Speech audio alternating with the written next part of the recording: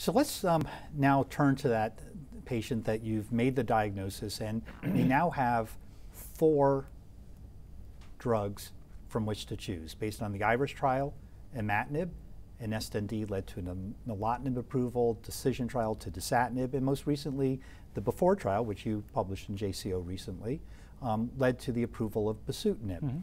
So we have four drugs. How do you choose between these? And I'm not going to let you say whichever the insurance company tells you you can prescribe. well, unfortunately, we that's sometimes important. that's the answer, yes. but uh, but I, will not answer that way. Um, the the first question that I that I want to answer is, do I want imatinib or do I want a second generation TKI? All of these studies that you mentioned have shown us that with the second generation tyrosine kinase inhibitors, you get deeper responses, you get faster responses, you actually get more responses, um, and, and a lower rate of transformation. The proportions vary, and you know, there's, the, but, but in general, that is, that is the case. Second generation have those benefits against imatinib. They don't give you a survival advantage, or at least they haven't so far, um, and, and they don't give you a progression-free survival uh, an, an event-free survival. Um, but but that that's probably not that unrealistic, considering that with imatinib you do get a high cytogenetic response rate, and with that the survival already goes pretty close to the to the the normal life expectancy. Uh, but there's all these other benefits, including the lower risk of transformation. So that's my first decision. In general, I prefer to, to, to go with the second generation tyrosine kinase inhibitors because I value those benefits for the patient, not only for the immediate benefit that that confers, but for the long term, and we're going to talk more about that. Then, which one of the three? I have the dasatinib, nilotinib, and, and bosutinib. Um, I, I think that perhaps the next important aspect that I take in consideration for the selection is the expected toxicities, the comorbidities, and how each one of these may play um, eh, for, for that particular patient. There's no direct comparison between these three drugs. And if you put the, the three studies side to side, the data looks very comparable. I mean, you can look at small differences and this and that, but considering that you're comparing different studies, and it, it's very hard to make too much out of those small differences. So I think that the next the next issue is is this about the co comorbidities and the risk of uh, a given toxicity ba based on the patients and um, uh, and you have to discuss them with with the with the patients. You know you know how how how uh, sometimes for a patient's uh, lifestyle, a given adverse event, diarrhea or, or fluid retention, may be more meaningful than than some others.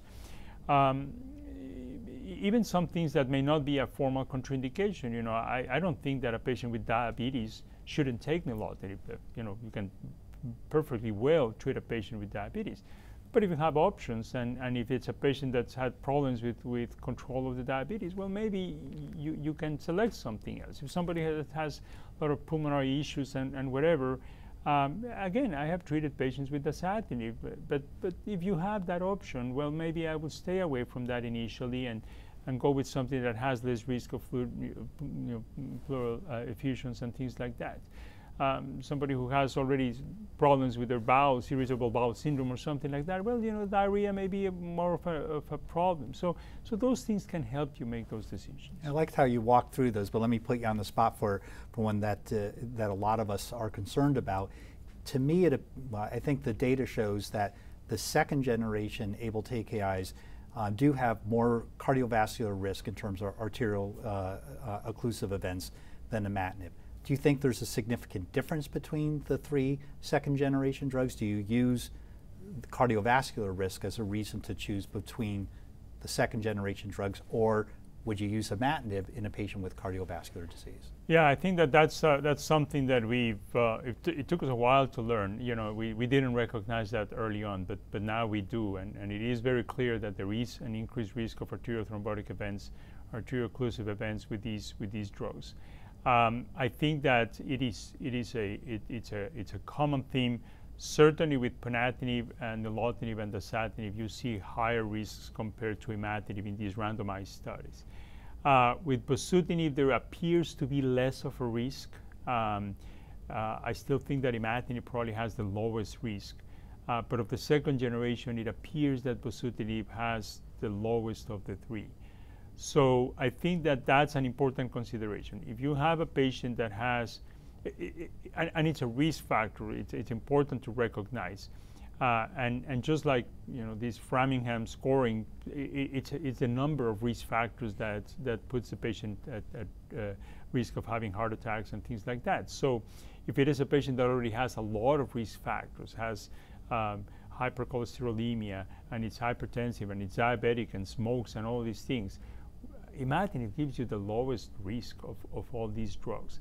And, and that's why, yeah, we still use imatinib in some patients. That may be the safest thing. Do you lose something in terms of efficacy? You lose something, but, but, but it's an effective drug. So, you know, we, we, we shouldn't forget that it is an effective drug. And, and, and, and what you gain in terms of safety may, may be justified.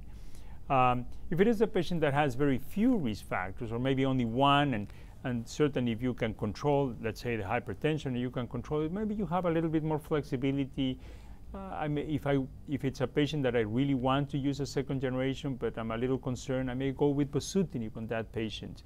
Uh, still needs attention, and we need to be careful on managing all these comorbidities to, to minimize the risk. Yeah, I, I practice the exact same way. If I have a pa patient, especially older patients with significant cardiovascular risk factors and actual prior events, I'm going to go with imatinib as mm-hmm. first line. So let's say I go with imatinib as first line and they're not meeting their milestones. Are you a believer in going up on the dose or do you switch? I, I, am a believer in going up in the dose in, in a given scenario. Um, certainly switching is, is better. There was this old uh, uh, uh, study with dasatinib where there was a randomized study of uh, the, the, uh, the START R was the name of that study where the, the, these patients that were not responding well, the criteria for switching were different than the ones we use now, the, the criteria for failure and all of that. But, but still, uh, the, the, the, point is that the patients were randomized to either switch to the dasatinib or increase the dose of imatinib, and switching was better. Um, but I do think that for a given patient where the risks are very high with the, with the switch, uh, increasing the dose can help some patients. So that could be a consideration for a patient like the one you're describing.